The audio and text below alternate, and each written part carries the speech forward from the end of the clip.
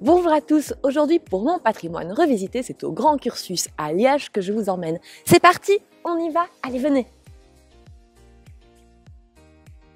Le Grand Cursus, c'est un musée d'art et d'histoire locale de Liège. On y trouve des collections allant de la préhistoire jusqu'à aujourd'hui. C'est d'ailleurs un regroupement de plusieurs musées qui préexistaient alors. Un musée de préhistoire, un musée d'art religieux et d'art mosant, un musée d'art décoratif, un musée du verre et la plus grande collection d'armes au monde.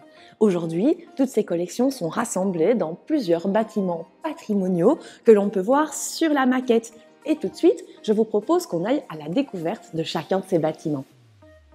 Le bâtiment le plus emblématique du musée et surtout celui qui lui a donné son nom, c'est celui qui est derrière moi, le Palais Cursus. Il a été construit au début du XVIIe siècle, entre 1604 et 1605, à la demande d'un grand industriel liégeois, Yann de Corte, qui se faisait appeler Jean Cursus en latin. Ça faisait un petit peu plus chic à l'époque. Ce personnage, il va faire fortune dans le commerce de la poudre à canon et avec sa fortune, il se fait construire ce bâtiment qui n'était pas un palais comme pour les rois et les reines, mais qui était plutôt un magasin, le lieu où il négociait ses affaires avec sa clientèle. Ce bâtiment devait, par sa richesse extérieure, montrer à quel point il était un personnage important et à quel point il ne serait pas facile de négocier avec lui. Ce bâtiment, il est caractéristique de cette architecture du début du XVIIe siècle à Liège, avec une alternance de briques rouges et de pierres bleues qui va dynamiser la façade.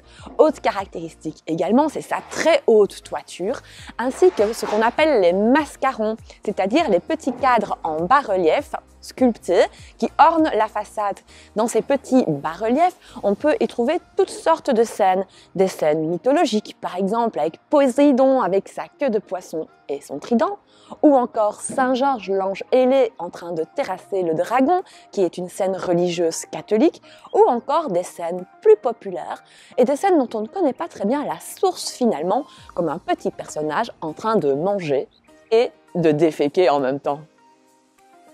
Un des autres bâtiments remarquables de l'ensemble du Grand Cursus, c'est l'hôtel de M de Baumal. C'est un hôtel particulier, c'est-à-dire une maison construite par un notable, qui est une maison de ville dans laquelle il y avait les parties pour les réceptions, les parties pour le logement, mais aussi les parties dépendance pour les domestiques. Cet hôtel M de Baumal, il a été construit pour le bourgmestre Jean-Baptiste de M de Baumal par l'architecte Barthélemy Digneff.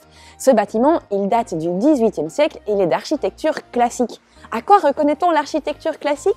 Eh bien, d'une part, à la symétrie du bâtiment, comme quand je plie une feuille de papier en deux, bord à bord, tous se répartit autour de l'axe de pliage.